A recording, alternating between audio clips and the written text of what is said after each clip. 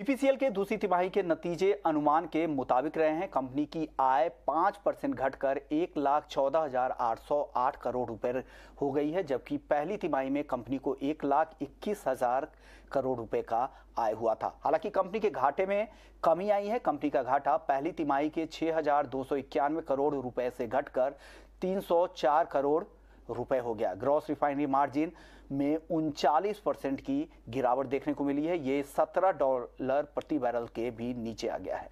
Oil marketing companies वापस से थोड़ा रिएक्ट करना शुरू कर रही हैं एचपीसीएल बीपीसीएल आप बीपीसीएल को चेक कीजिए। आपको लग रहा है कि शेयर चल जाएगा?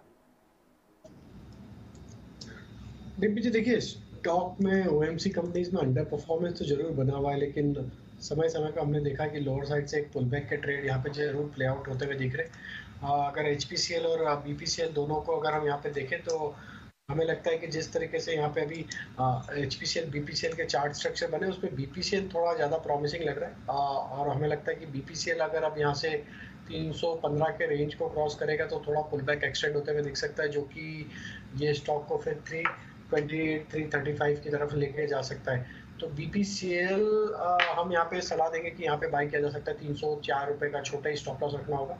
वो स्टॉप लॉस से बाय करें और अपसाइड के टारगेट तीन सौ अठारह तीन सौ पच्चीस तक के अपसाइड के लिए इसको बाय किया जा सकता है। ओके okay, ठीक।